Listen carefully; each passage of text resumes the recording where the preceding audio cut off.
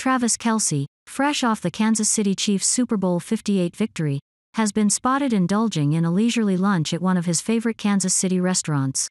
Exclusive pictures reveal the NFL star driving his Rolls Royce, waving and smiling at fans, as he took a break from the recent spotlight that followed both his triumph and the tragedy that ensued during the Chiefs' victory parade.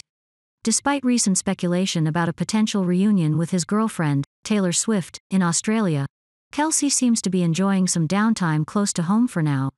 The Chiefs tight end dropped a hint about venturing to an island soon during a recent episode of his New Heights podcast, sparking anticipation among fans. Huh, which way are you going? Where are you going? I don't know. I think uh, the best ones are south right now, though, so I'm gonna go south. Yeah, I think, I think that makes sense. However, his recent appearance at a local eatery in Kansas City suggests that the journey down under may not be immediate.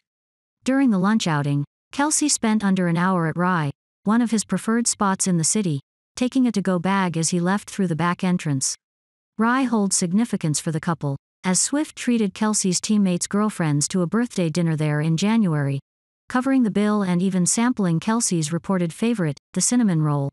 While Swift is currently captivating audiences on the Australian leg of her Eras tour, fans are eager to see if Kelce will join her in Melbourne, given the high profile nature of their relationship that dominated NFL coverage this season.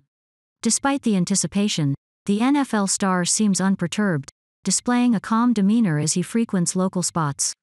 Kelce recently faced criticism for his involvement in a scaled down party following the tragic mass shooting at the Chiefs' Super Bowl parade. The event left one woman, a local radio DJ, dead and 22 others with gunshot wounds, prompting a wave of public scrutiny. Both Kelce and Swift responded by donating $100,000 to the victims, emphasizing their commitment to supporting the community during challenging times. As Kelce navigates the aftermath of the Super Bowl celebrations and addresses the recent criticisms, Fans are eagerly awaiting updates on his potential journey to join Swift in Australia. The NFL star's actions, both on and off the field, continue to captivate public attention, making him a central figure in the intersection of sports and celebrity culture. Kelce's calm demeanor during his local lunch suggests that, regardless of the ongoing scrutiny, he remains focused on balancing his personal life with the demands of his high profile career. The unfolding narrative invites viewers to engage in the conversation, leaving comments and speculating on the next chapter in Travis Kelce's journey, both romantically and professionally.